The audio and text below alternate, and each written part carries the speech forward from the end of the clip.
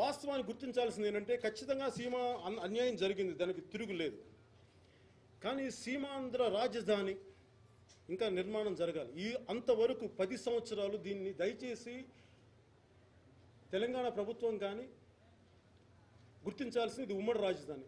ఇక్కడ దయచేసి ఎవరిని కూడా ఆంధ్రప్రదేశ్ ప్రభుత్వాన్ని దయచేసి ఇబ్బందులు పాలు చేయకండి. బికాజ్ దే కేపబుల్ అది ఒక ఒకలాంటి సివిల్ అండర్స్ని క్రియేట్ చేస్తుంది. మీరు దయచేసి దీన్ని మర్చిపోకండి. అలాగే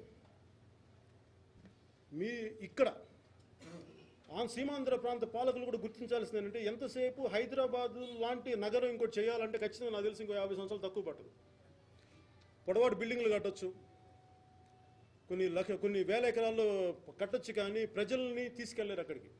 ఖచ్చితంగా ఆ సమస్య ఉంటుంది. ఇంకొక జవ- ఖచ్చితంగా తక్కువలో తక్కువ పాతిక సంవత్సరాలు పడద్దు. ఈ అన్యాయం ఖచ్చితంగా ఆంధ్రప్రదేశ్కి జరిగింది. కానీ ఈ అన్యాయాన్ని మీరు దిగమింగుకోవాలి. వేరే దారి లేదు. You have to stop claiming rights on Hyderabad మీరు గుర్తించాల్సిందల్లా మీరు గుర్తించాల్సిందల్లా సీమాంధ్ర ప్రాంత ప్రజలు సీమాంధ్ర పాలకులు గుర్తించాల్సిందల్లా కేంద్ర ప్రభుత్వం యూపీఏ ప్రభుత్వం అప్పుడు ఎన్డీఏ ప్రతిపక్షం.